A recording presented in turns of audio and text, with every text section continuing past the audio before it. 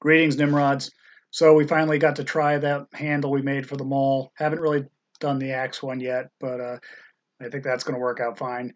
Um, so it works real well. These are literally the, the first swings we're taking action. with this thing. Um, and you know I have no trouble aiming it. This this big round here is a piece of sassafras, which is kind of sticky and spongy. Um, but it's uh, not really all that hard to split once you, you've got it broken. But it, it really feels good in the hand. It swings nicely. It's a little bit longer than a than than um, say the Fiskars axe. It's maybe two inches longer. I like it better. Um, it, it, it really does a great job. Um, it's a little heavier, of course, but it's much lighter than the Fiskars Mauls you see sitting next to it there. Um, the only uh, thing I'm going to do differently next time is I'm going to make sure to leave more shoulder on the handle around the axe head.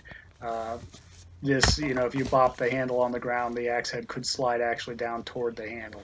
Um, so I'm gonna I'm gonna have to take it off and re reattach it with a, a, a little bit more wedging. Um, it's it's working now, but I, I, can see that it's going to move. Um, but other than that, it, it was a, a, great success. It really does work well. Your frog's to give it a try. And, uh, no, it works good. Um, a real improvement on the uh, conventional handle that I had bought at the hardware store. I like it better. Uh, it doesn't rotate in your hand much. It uh, goes nice and straight. So overall, a success. So hope you like this video. Remember, Nimrod wants you to subscribe, like, and share this video. Happy hunting, Nimrods.